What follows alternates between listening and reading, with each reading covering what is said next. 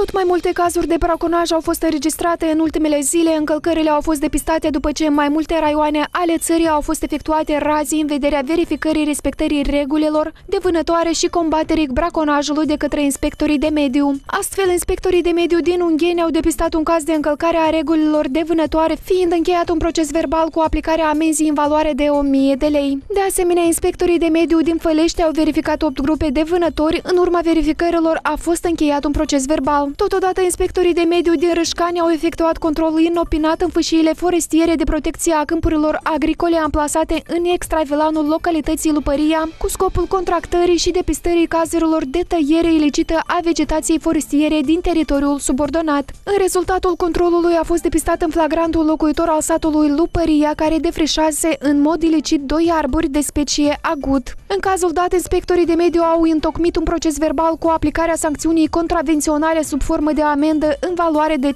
de lei. La fel a fost calculat și înaintat pentru achitare prejudiciul cauzat mediului care constituie 1.400 de lei. Materialul lemnos depistat la fața locului a fost predat primăriei localității. Inspectoratul pentru protecția mediului reamintește cetățenilor conform legislației în vigoare defrișările ilegale se sancționează cu amendă de până la 5.000 de lei pentru persoanele fizice. Dacă responsabilă de acțiune se face persoană juridică, aceasta va plăti până la 25.000 de lei amendă.